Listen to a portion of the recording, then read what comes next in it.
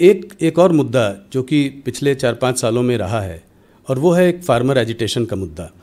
पहले आप लोगों, आप फार्मर के लिए एक नया कानून लेकर आए, फिर आपने उस कानून को विड्रॉ किया। अभी हाल फ़िलहाल फिर प्रदर्शन हो रहे हैं फार्मर एजिटेशन हो रहा है।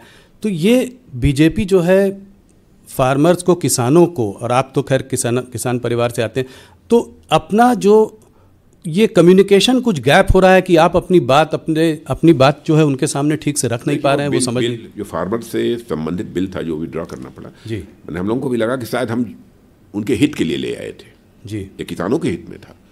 लेकिन शायद जिस तरीके से उन्हें कम्युनिकेट किया जाना चाहिए था अथवा जिस तरीके से ये बात उन तक पहुँच जानी चाहिए थी शायद नहीं पहुँच पाई।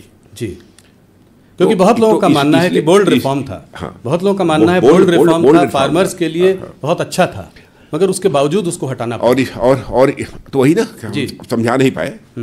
शायद उसके लिए और समय चाहिए था ताकि हम किसानों को समझा पाते उनके साथ और डायलॉग की ज़रूरत थी।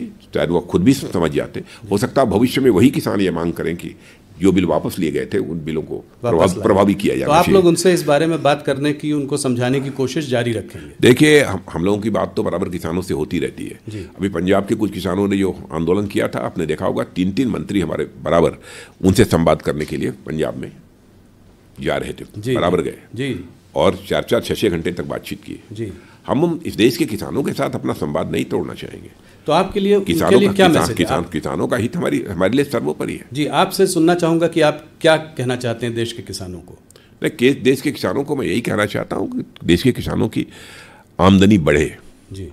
उनको उनकी फ़सल की उचित कीमत मिले। जी। यह हमारी सरकार की सोच है।